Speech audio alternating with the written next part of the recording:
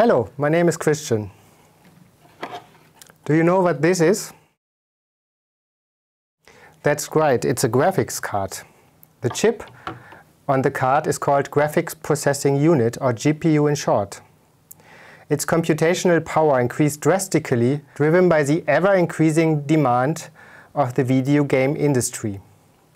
It features a highly parallel structure of approximately 5,000 compute cores that are capable to render a scene of a video game in real time. For comparison, a high-end CPU has currently less than 100 cores. With this tutorial, we want to introduce you to the concept of general-purpose GPU computing. We will discuss important hardware details and differences between the GPU and CPU architectures. We will show you how you can use the vast computational power of the GPU for your favorite application. It is important to understand some basic facts about the hardware design of a typical CPU or GPU. A CPU has a low amount of algorithmic logic processing units, or ALUs which however support a very large instruction set and are thus very versatile in usage. A CPU further features a local L1 and L2 cache and a global L3 cache and an off-chip DRAM. The whole memory architecture is latency optimized. In contrast, the GPU is built upon several sets of ALUs which share a single basic control unit and a L1 cache. These units are single instruction multiple data or SIMD units. NVIDIA calls them streaming multiprocessors. Due to the reduced instruction set, they are somewhat limited in usage, but the total amount of ALUs outperforms a typical CPU by far and delivers a vast amount of flops. In addition, there is an L2 cache and an off-chip DRAM, which is typically a high bandwidth memory. The memory hierarchy of the GPU is thus throughput optimized. Here we summarize the important hardware specifications of a CPU and GPU we will be using later in some performance analysis. Note in particular the single precision peak performance in flops and the bandwidth in gigabytes per second. How can you use the GPU for your application? It is important to identify the compute-intensive parts in your program code. Provided that your problem is parallelizable, now your code is executed in parts on the CPU and in parts on the GPU, which is an example for heterogeneous computing. In order to achieve near optimal performance, the GPU part should utilize a substantial fraction of all the ALUs available on the GPU. Due to the specific GPU architecture, the instances or threads of the kernel functions exhibit a distinct pattern.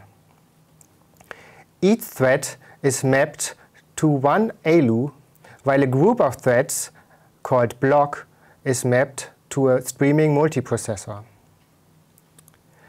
The collection of all blocks is called the grid, which is associated with the whole device.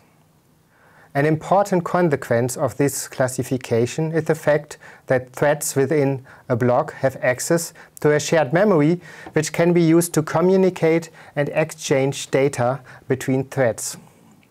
While there is no mechanism for communication between threads of different blocks. Now we will introduce a frequently encountered example problem, the SAXPY. SAXPY stands for single precision A times x plus y, where x and y are vectors and a is a scalar.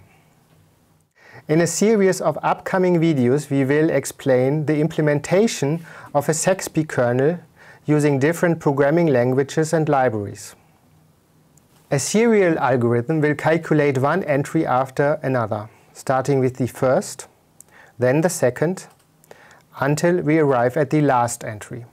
This algorithm is implemented with the for loop and is often encountered on the CPU. The SAXPY problem is however fully parallelizable. Each entry can be calculated independently from any other entry. A parallel algorithm attempts to calculate all entries at once, which is much better suited if a large number of ALUs is available.